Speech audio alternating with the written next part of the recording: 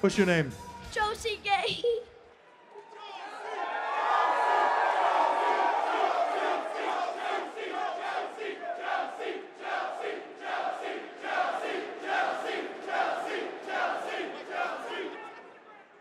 Tell me that's not the coolest thing you've ever experienced in your life. Man, I know, no, it's not that long, but Yes.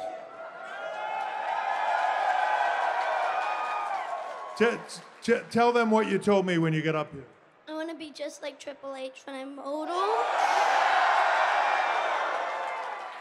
Don't be just like me. You can do way better than that, okay? All right. St- sit right here, and I'm going to try not to drop you into this little pit right here before we get you to go over there. Oh, hold on. Well, hold on a second. Hold on. As if she's not already the greatest kid ever, she says, Can I hug Michael Cole? Nobody wants to hug Michael Cole.